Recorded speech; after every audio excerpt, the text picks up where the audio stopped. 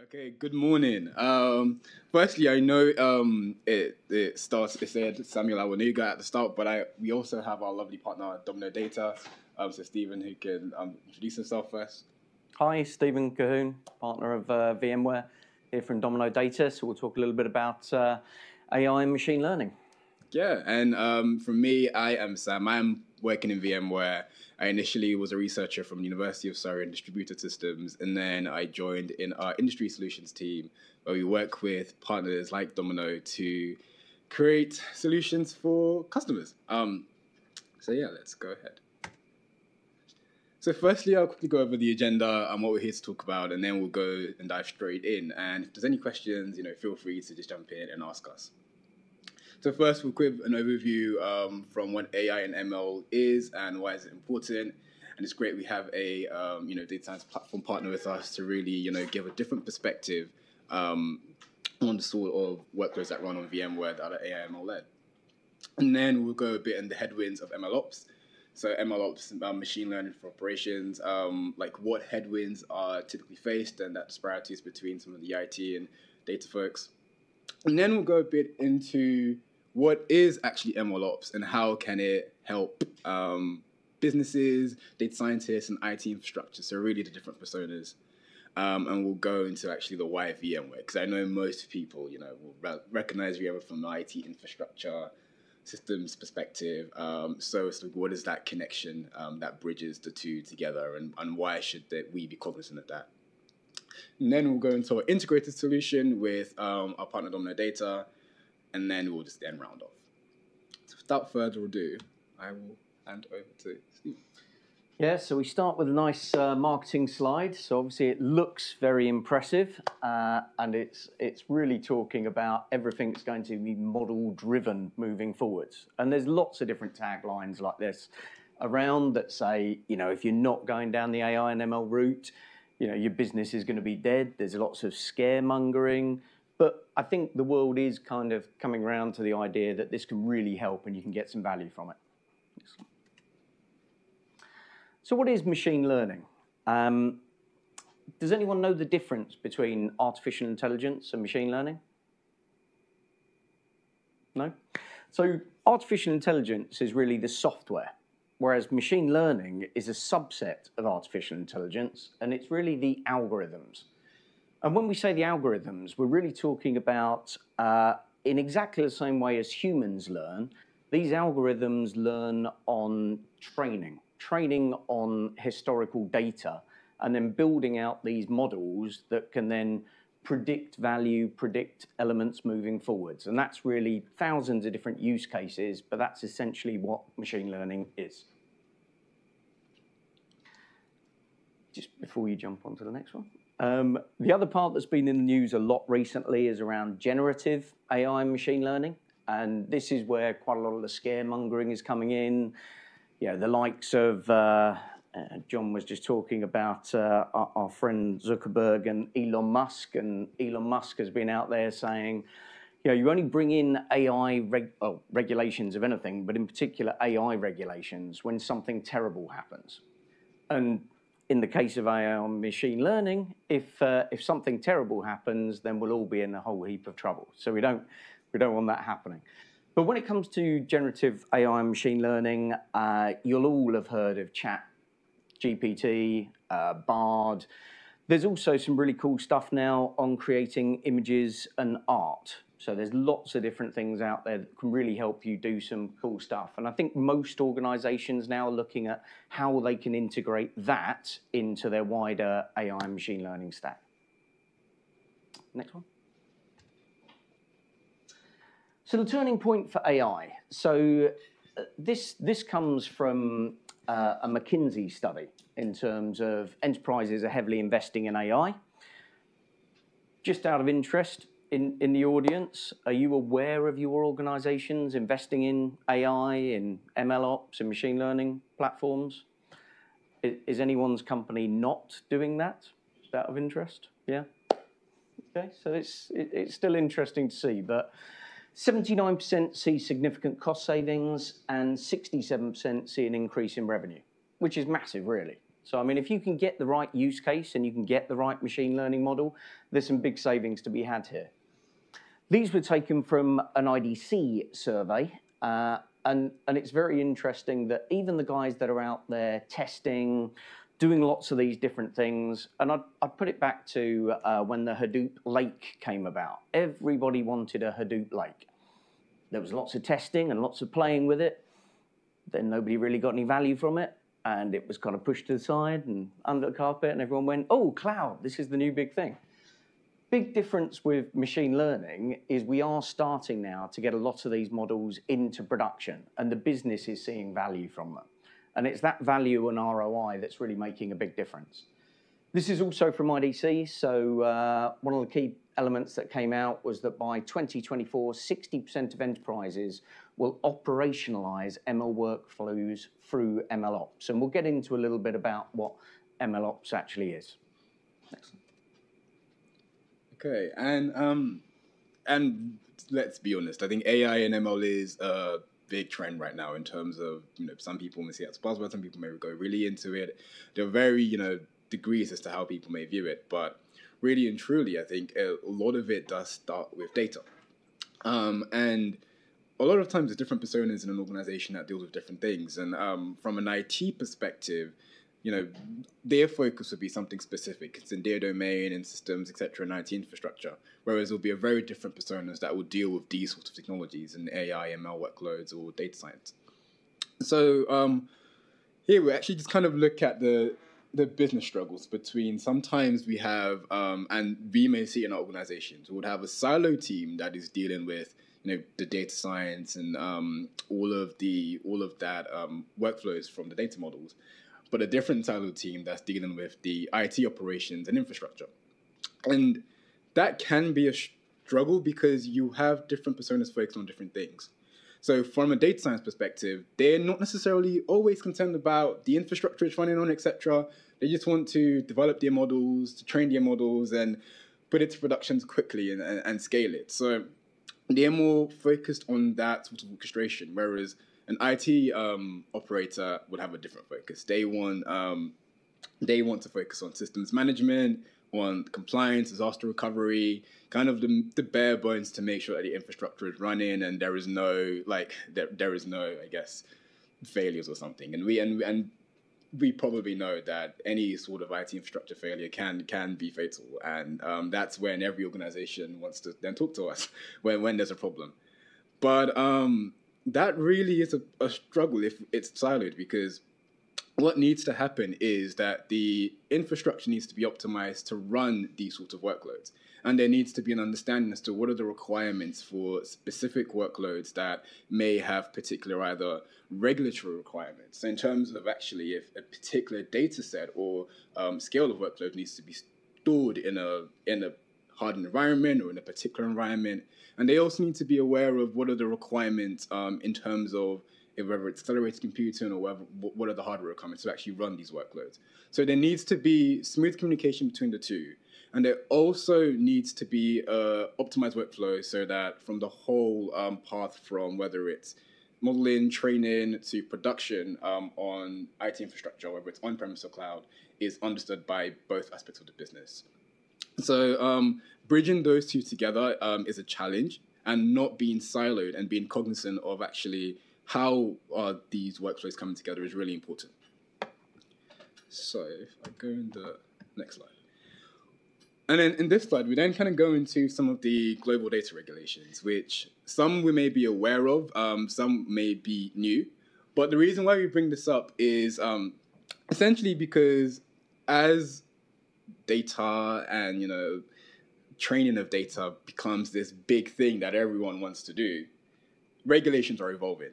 And where you store, how you manage, and how you process these data is now a big thing, and it's a changing thing. It affects, you know, not even necessarily just data for um, AI, ML, and uh, machine learning training, but also data for all sorts of use. So we just kind of touch a bit into some of the emerging data regulations before going into a specific one. Um, but one, you know, data privacy regulations have seen a big increase globally. We might be aware of some. We might be aware of the incoming EU Data Act, the incoming EU AI Act. Um, I would recommend looking into that because where actually these data are stored becomes really important with these incoming regulations, and how you manage it is also important. Another thing is um, they vary. Uh, they vary by country, which can be very, you know, um, can be very cumbersome in many organizations. If you are in the EU, um, they will have their specific um, regulations and they will have particular ways you process it than if you're in the US. So if you're now a global organization and um, you process and store data from across the globe, you now have to be cognizant as to, based on my region, what, what, how do I manage this data?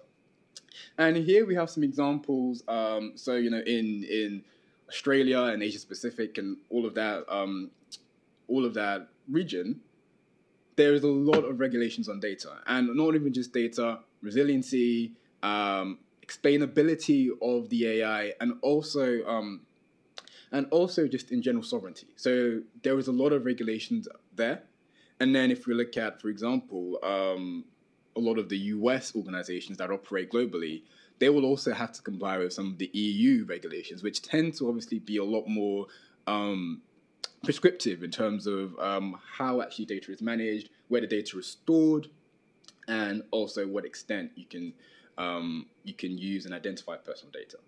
So as this, when's the uh, EU Act AI Act coming into force then? Um, I can't remember the actual date, but I know they're still doing consultations. Um, I believe there was like a first revision for in terms of actually putting a guidance for next year, and then when it's actually you know being ratified, I need to confirm that. But I'll have a look at the actual. Yeah, the, the EU ones are being drawn up, but uh, the UK government's formed a separate team that's doing the AI regulations for the UK. Uh, we're probably expecting that Q1 next year in terms of what will be coming into place, and a lot of it is based on to this DORA Digital Operational Resiliency Act that uh, I think we'll be leading on to. Yes. And um, and if we kind of just touch into as um, Stephen said, Dora, that's now a big one that is coming. It affects a lot of um, you know third-party critical providers, so cloud service providers.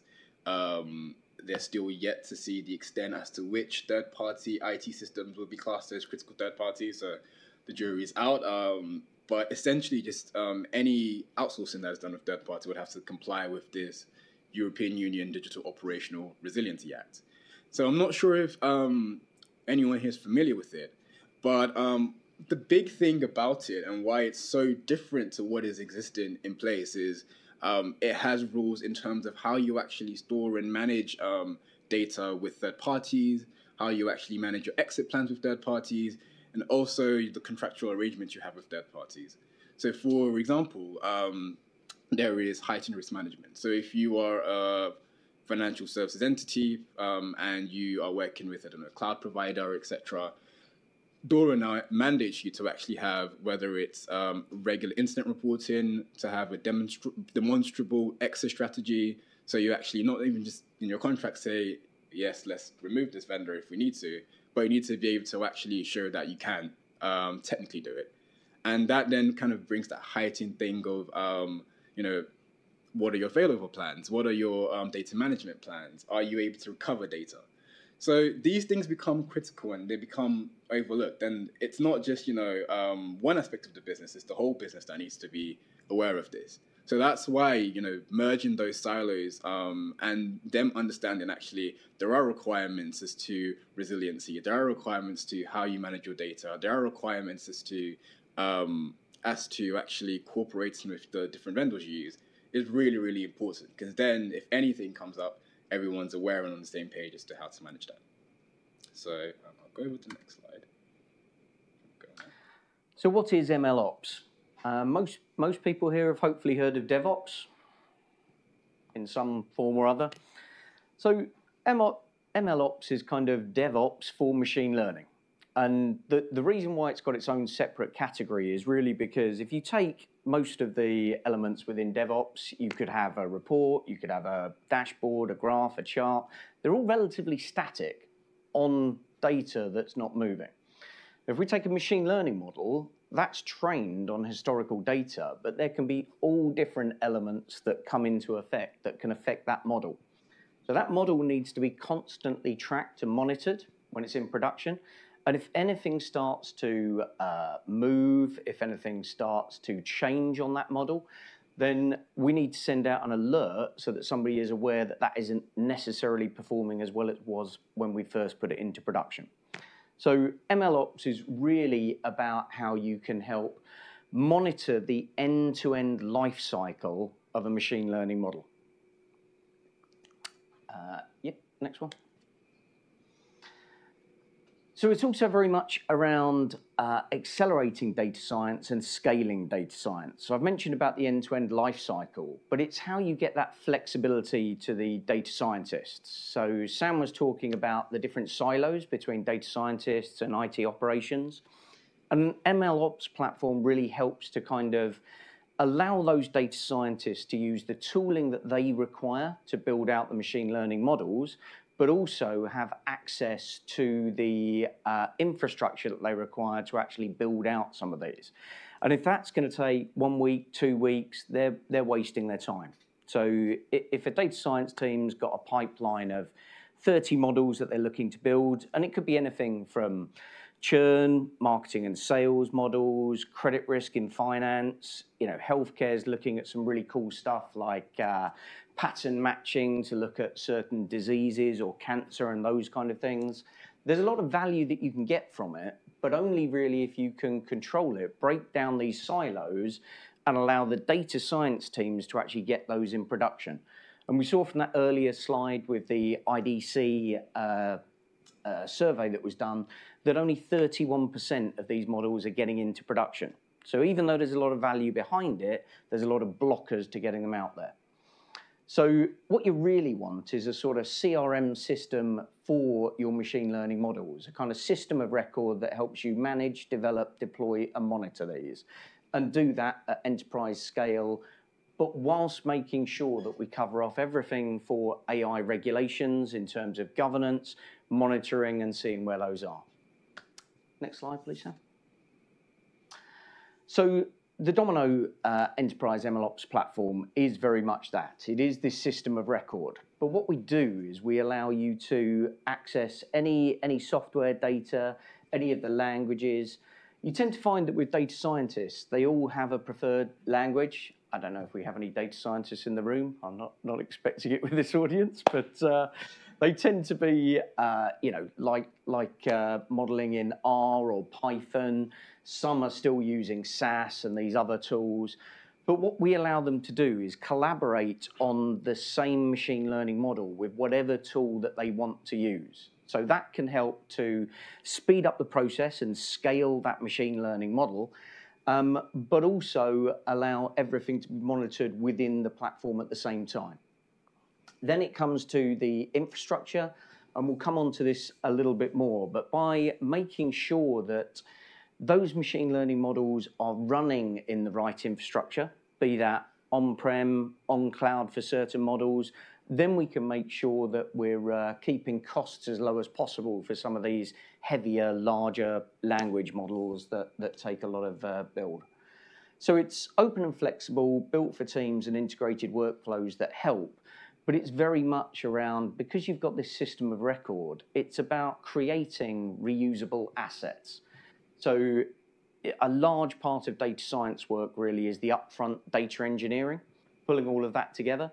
If you've got a platform where people can go and see, if you like, a, a starter for 10 around a churn model that they can take and then manipulate within their organization, and they may save themselves 50, 60, 70% of that upfront work time, that's where you can really scale getting these models into production. So VMware and Domino, uh, but why? And this is really around, just as I was starting to touch on, where you've got these different use cases, some will be better run on-prem. And it's, it's interesting that the organizations that we're talking to now are kind of, they've been through that wow cloud moment, everything should be put in the cloud it's now like, oh, actually, that's really quite expensive. and actually, it's not very easy to move from AWS to Google to Azure. And if I do try and do that, it's going to be complex and costly internally. So I'm stuck with AWS. They're charging me more and more, and you're in this vicious circle. So a lot of companies now are saying, well, for certain models, let's move them back on prem because actually that's going to be a more cost-effective way of doing it. So by working with VMware and working within the platform, we can work out where these models are best to be put, which then reduces that compute spend. And this is why we're really getting now the, the ear of the chief data officer, the chief technical officer, the CIO, because everyone is now about reducing cost. Protecting the data sovereignty, very much around uh, those regulations that Sam was talking about earlier in terms of uh, whether it's GDPR, whether it's about, you know, you've got sensitive data in an investment bank in Zurich that can't be moved. How do you actually build these machine learning models without moving the data? And how do you future-proof those infrastructure systems across the, the hybrid and multi-cloud? Does that all make sense? Yeah. Um, and I think one other thing I would add as well is that data gravity aspect, which um, so essentially is just describing when data sources become so large and so complex, they become harder to move, you know, across different platforms because they're just so large. Um, but I think one thing that both our stories really do well is um, actually enable you to be able to choose the right infrastructure and also move um, it's a bit more seamlessly. Um, obviously, it's a bit more technical than that, but um, in a way that actually um, allows you to accommodate that complexities in data gravity. But yeah.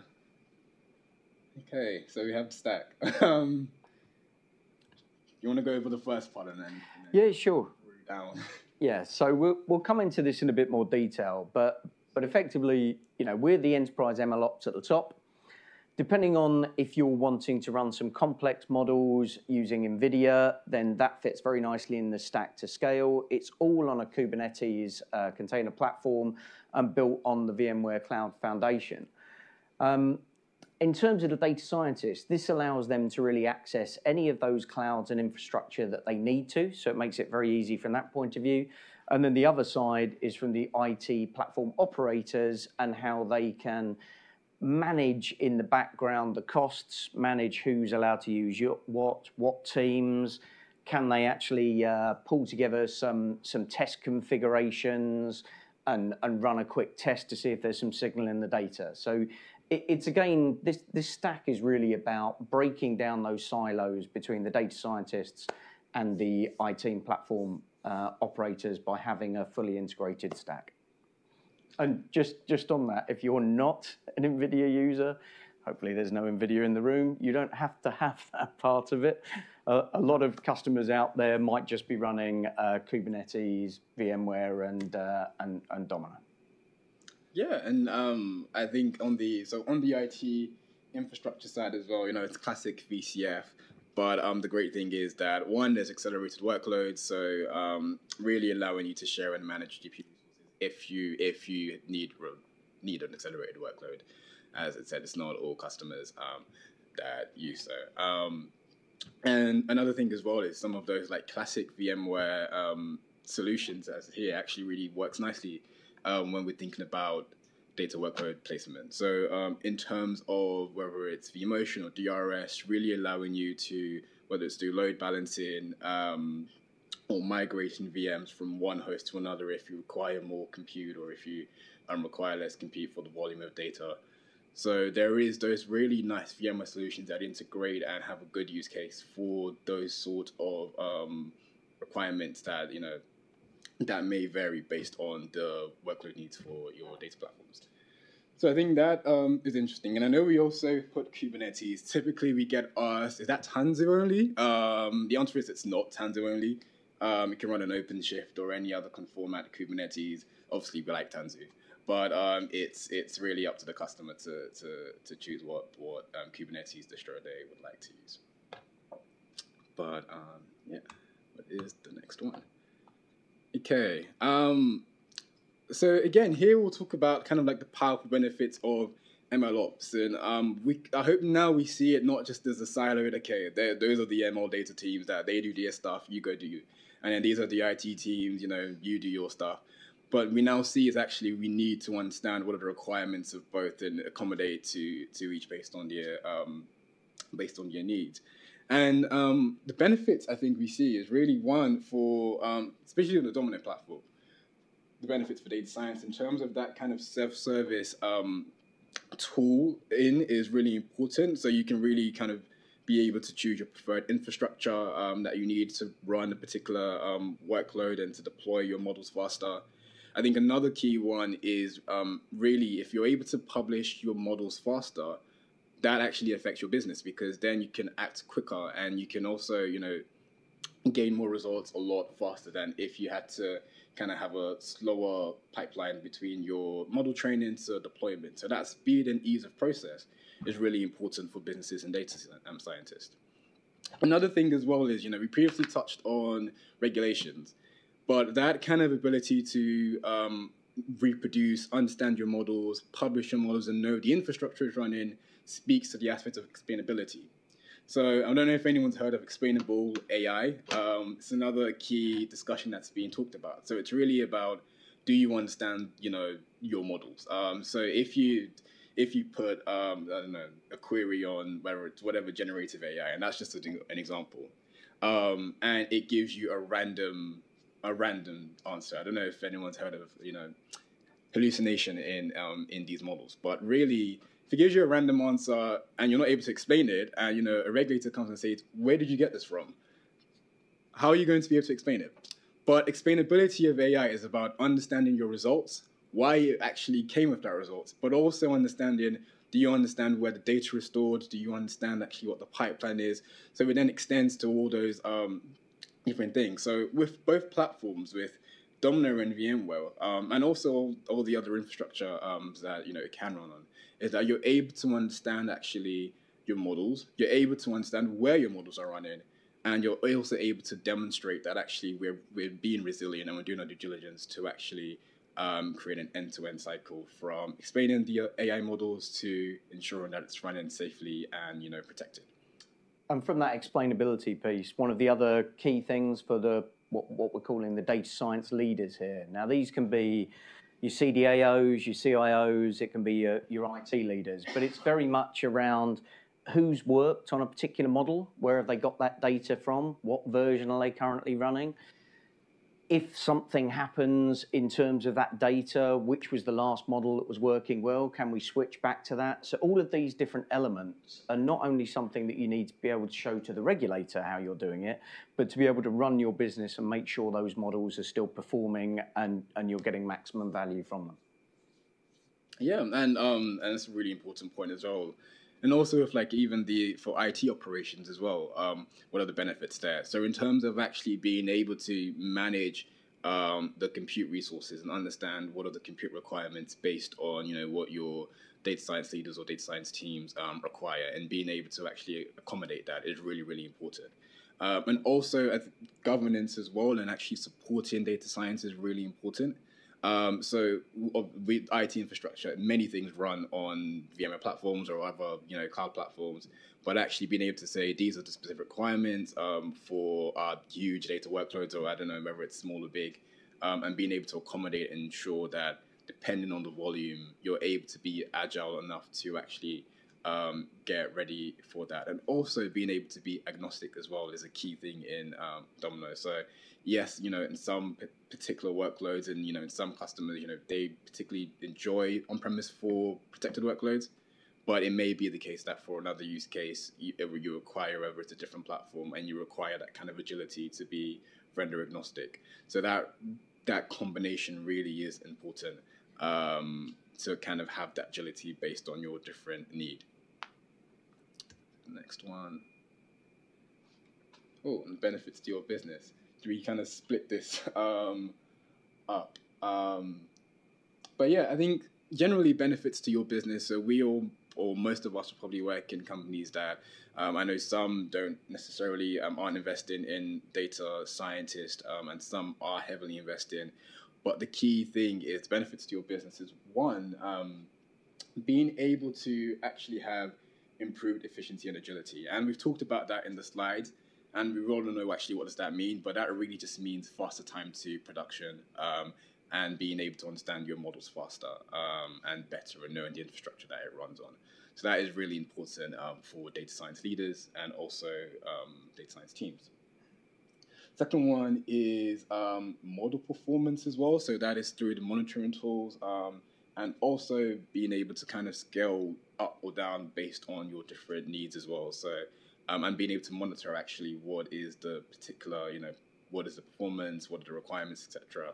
And having that ongoing is really important as well. Um, don't know if there's anything that you want to touch on or if I, No, I, don't, I think it's good. Okay, and um, yeah, and I think another key thing is also the um, really democratize access to high value hardware. And what does that mean? That means um, if you are particular, you know, running a particular workload and you need access to a particular hardware, accelerated um, compute, etc., you're able to do that um, with with ease, and you're able to kind of know actually based these are my requirements, these are the, what I need to to run whatever models, um, and I need access to that. You can tell your IT infrastructure team, and then you can have a streamlined pipeline that allows you to do that and manage that um, a lot better.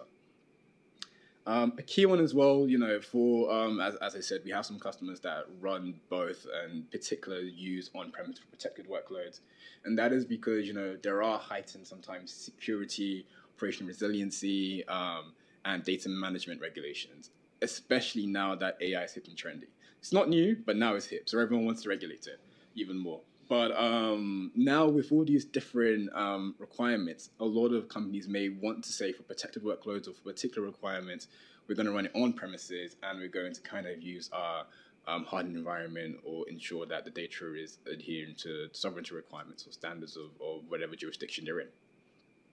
Um, and with that as well, I think that then kind of extends to some of the, you know, the core the core, you know, VMware solutions. So whether it's um, security, disaster recovery, ransomware, um, protection and recovery, like cross cloud services, and that is all based, you know, agnostic to the workload. Well, those are really important also for data um, because data is very, very important, especially if it's personal data. So those things actually become a lot more um, important when we when we are talking about um, um, machine learning and actually, you know, um, publishing um, publishing models into on premises. Those key fundamental um, features, which we just kind of you know to say is oh I don't know VR, CRM, SRM, sorry. Um, those are actually really important. Um, and also as well, like you know the classic you know the classic ESG carbon um, carbon targets are also really important because um, a lot of time you know when we're dealing with high levels of data they can obviously require a lot of compute resources. But one, um, that sort of DRS for resource efficiency and also the classic server consolidation is really important um, as well in terms of actually efficiently um, making use of the compute storage of, of data platforms. But yeah, I think that covers it all here. Yeah, so that pretty much sums, sums it all up. Uh, we're, kind of finishing with uh, the integrated MLOps platform gives data scientists what they want uh, and need while keeping them safe, secure, and compliant, thus creating better business outcomes with reduced risk. But it really is about allowing these data scientists to access the right tools to be able to get through that pipeline, to get to the right data through this integrated stack, to get those models built and out into production and to scale that and work through that pipeline everyone knows that data scientists are in, in short supply, or at least good ones are. Um, so, uh, so you've got to maximise, if you like, the team that you've got. So that's really uh, what we're saying here, and you can do that with the integrated stack between VMware and uh, Domino Data. Okay. So thanks very much. Um, if you've got any questions, reach out to, to Sam or myself, or by by all means, uh, ask, ask, them now. just a quick one for you, I guess it's just Stephen. Um, just in terms of the Domino platform, hmm. how are you providing self-service first off, and then secondly, how are you monetizing that or charging back to the data scientists? Because if they're anything like DevOps, they will just consume, consume, consume. So how are you managing that? So we, we do it in a, a couple of different ways. So we have an on-prem solution which you can set up on-prem and manage your costs internally. The platform will help you in terms of what you're doing in the different cloud environments, and that's where it can kind of say that model actually shouldn't be running in the cloud. That would be better run on-prem. CloudHealth play or uh, ARIA chargeback or something custom you guys are using? It's not. It's purely your own uh, on-prem cost. Do you know, Ankur, in terms of how we? Yeah. So uh, I think two things there is one, the on-prem piece, if you're running it there with Nexus specifically, because that's where I think uh, Stephen was going with. Uh, so basically um, basically looking at the cost across multiple clouds, and we are we are giving a recommendation to the data science teams as to this is where you run, and you will save a lot on training when you're training your models. Let's say you're on AWS, Azure, Google. TCO. Yeah, yeah. And all your TCO, you you look at the per hour cost of running um, some misclassification model, and you will save that money. So we are giving that recommendation in real time. Yeah. Based on that, you can decide whether to run it or. And then the second part of that is uh, a lot of customers, depending on size and complexity and what they've got going on internally, don't want to be managing their own infrastructure. So we have an enterprise cloud offering where the platform runs in the cloud. But back to the point that we were talking about earlier, you you uh, go against the separate data planes. So you're not moving the data from VMware or from a cloud solution where it is. So you're saving costs on that. You're also helping with that whole governance, security, and the regulation space. Great. Any other questions? Yeah. Just a quick one. I think something for Sam here. When you're on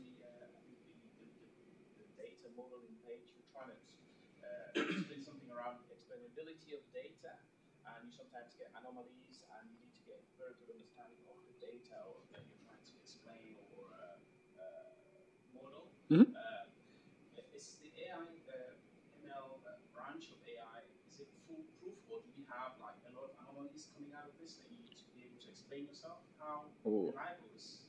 I think we can both answer that, but um, it's it's not foolproof um, in terms of it is dependent on. Um, I'll say it isn't, isn't because it depends on obviously the level of training that you give it. So it what the output is is based on the input and based on your models. And you know you could hallucination is a thing where in the AI space, where if you it's a it if you necessarily ask a question that is maybe really long or you ask something that isn't necessarily tied to how it's been trained, it can give an answer that is different. And that's particularly for you know a Gen AI use case. In the AI modeling use case, it's huge. So you know it could just, it's typically maybe just processing a particular data set where there when it sets, it's it's give it knows what it's doing, the algorithm set, and once you put the data, you get your output. Um, but if you're looking at more prescriptive um, examples where it's like you know Gen AI and all these big companies that are trying to do different things, that then is um, a mixed answer where it's it the input is the input is kind of just based on what is set. And then if you ask a question to whether it's like ChatGPT or Bard or all these different things, or all these different AI platforms um, that is, they're not necessarily familiar with or is not in their training systems, it can either hallucinate or it can um, give an answer that may not be what you're expecting. So that's why it just depends on the models that's being run, depends on the kind of algorithm, and depends on the use case. So that'll be my answer. Yeah. So the only thing that I'd add to that is uh, you know, the reason why data scientists are paid a lot of money is this is complex stuff. So getting that data set is one thing, but the data engineering and making sure that that is in good shape to actually get a signal off of it is very different. And that's why they have to train the model on the data several times. They then reshape the data. They have different categories that are putting in to see if they can get more signal out of it. You've got all these complex area under curves that you can look at to see how that model is actually performing. And that's how they kind of round it out to make sure that they've got the most performant model possible. Okay. What about, sorry, what about LLMs? That's the big buzzword. Yeah. So large language models. Uh, so this would be your how you're integrating with ChatGPT. So we do integrate directly with ChatGPT, and you are looking at how companies can utilize these large language models. it's not the sort of thing that you're going to want to be trying to bring on-prem yourself because that is a, a great example where you're using huge GPUs to crunch massive amounts of data. So that is one where you want to use companies like OpenAI, ChatGPT, and these kind of elements to build out those models. Um, but yes, good, good question. Okay. Great. So we're we're around during the the break. So if anyone's got any other questions, please come up to us. It's myself, Sam, and then I've got Ankur and Michael from uh, Domino Data as well. But thanks very much for your time. Thank you very much.